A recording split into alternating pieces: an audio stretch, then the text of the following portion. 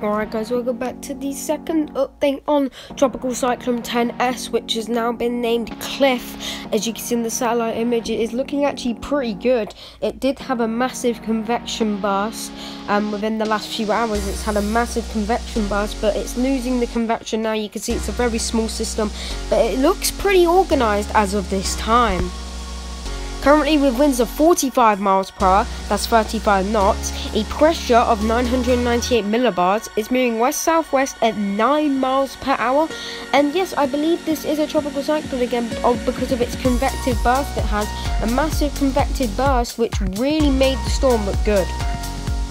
Take a look at the JTWC weather cone. You can see I'm going more with their estimate. They've got at 40 knots.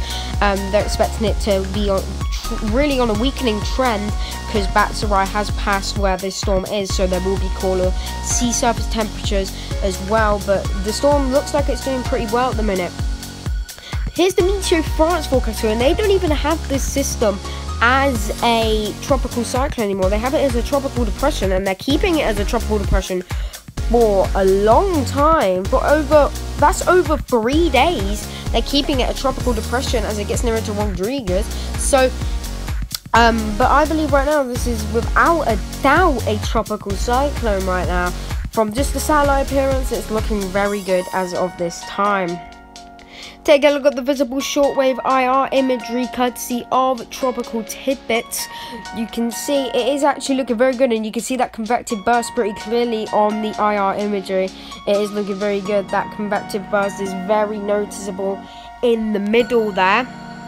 And take a look at the true color zoomed out imagery. This is the same thing, it's just zoomed out. It is looking amazing right now. It's very noticeable. And comparing this to yesterday, this is looking 10 times better than it was yesterday. 10 times better than it was yesterday. It is looking really good, and I believe, yeah, it is a tropical cyclone right now with 45 mile per hour winds. Take a look at the water vapor imagery, and you can see this is where it gets a little bit more unimpressive. You can see there's not a lot of rainfall in it, and the water vapor, it's not doing too well. You haven't got any red areas in it. Um, but it did. It really did have those red areas around three hours ago. It had all those red areas as well. Anyway, thank you for watching this update on Tropical Cyclone Cliff, which is no threat to land and will never be no threat to land.